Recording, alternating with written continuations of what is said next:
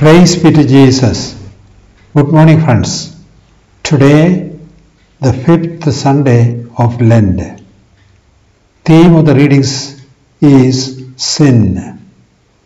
In the first reading, that is Genesis chapter 4, verses 8 to 16, we have the scene of the murder of Abel by Cain. The brothers, they were together God was pleased with the offerings of Abel, not with the offerings of Cain, because he did not offer to the Lord with a clean heart and with a total dedication.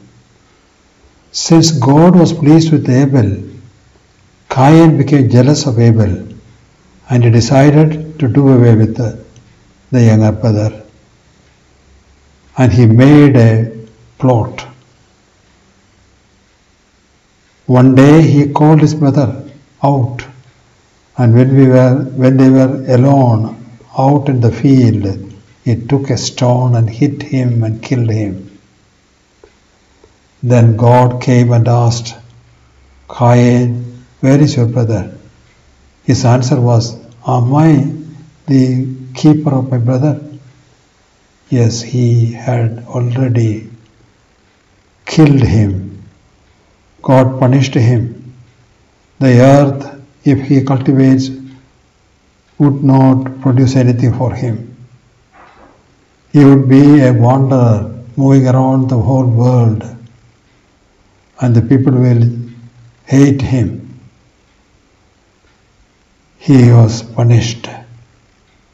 Then he repented. God forgave him and reduced his punishment. The second reading is from 1 Samuel chapter 24 verses 1 to 8. Here we can see that David is forgiving Saul. Saul wanted to kill David. With 3000 men, soldiers, Saul was following David. But Saul the king was given into the hands of David.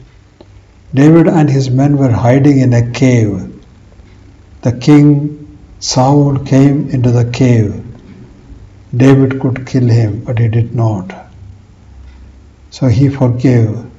He wanted to show to the king that he was not a threat for his life. He was a faithful servant of the kingdom of the king. So we can see this picture here also forgiveness and sinfulness. The third reading is from 1 John chapter 1 verses 5 to 10.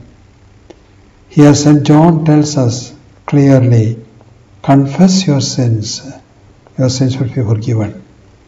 If you say that I have not sinned, you are a liar. If you accept that you have sinned and repent over your sins and confess your sins, then God will forgive you. And finally, Gospel of St. John, chapter 8, verses 1 to 11.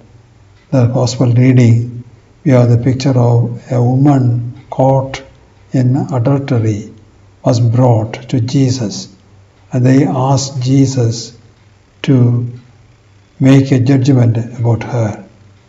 They wanted her to be stoned to death according to the law of Moses. But Jesus did not make a decision like that.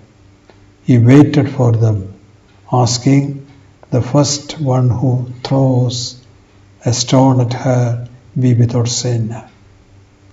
And they did not have any courage at all. They all knew that they were sinners. They all knew that Jesus knew their heart. One after another, they left the place. At the end, the lady was alone. And Jesus asked her, did not anyone stone you? And she said, No one, sir. I also do not condemn you. Go, do not sin again. So, sin and repentance, we have to accept, we have to be aware of our sinfulness, first of all. Then we should accept that we are sinful.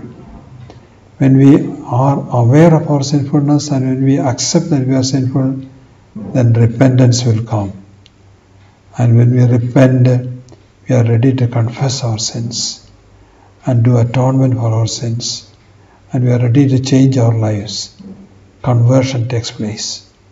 And that is the way in which we come back to the Lord. This season of Lent is a season which helps us to become aware of our sins, repent of our sins, and come back to the Lord.